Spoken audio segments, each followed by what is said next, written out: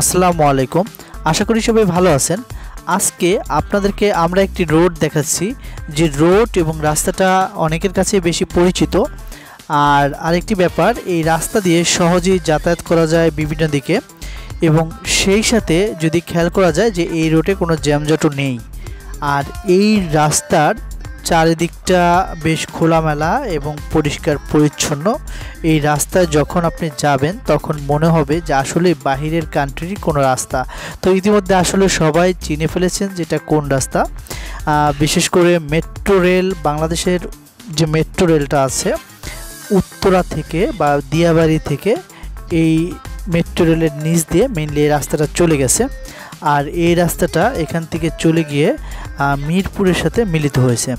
তো সহজেই যে কেউ যদি মিরপুরে যেতে চায়, বিশেষ করে উত্তরা থেকে, তাহলে ইজিলি এই রাস্তা ধরে স- সহজেই মিরপুরে চলে যেতে পারবে। সেক্ষেত্রে জ্যামজটের ঝামেলা পোহাতে হবে না।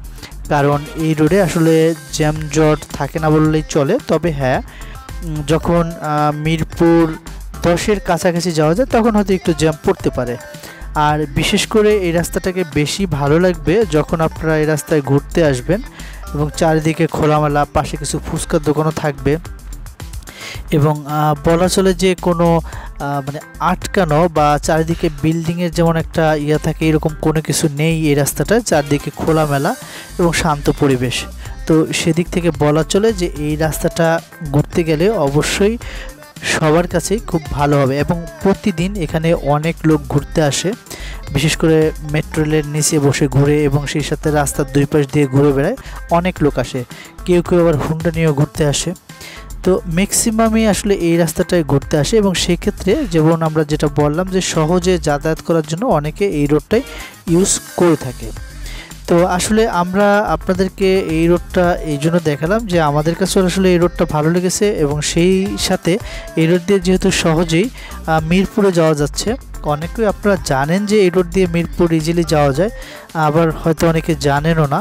তো যে কারণে আসলে আপনাদের সাথে শেয়ার করা এবং সেই সাথে এই রোডের যে পরিবেশ, সেটা নিয়েও আপনাদের সাথে শেয়ার করা। তবে হ্যাঁ একটি ব্যাপার, এই রোডের দুই পাশ দিয়ে যদি প্লান্টেশন বা ট্রি প্লান্টেশন করা যেত, তাহলে মনে হয় আরও বেশি ভালো হতো।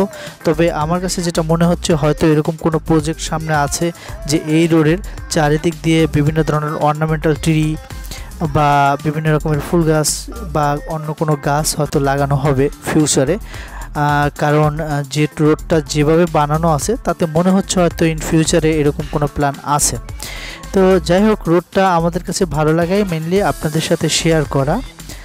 এরপরে হয়তো আমরা আবার আপনাদের সাথে আসব অন্য কোনো ভিডিও নিয়ে। তো সে পর্যন্তই, ধন্যবাদ সবাইকে।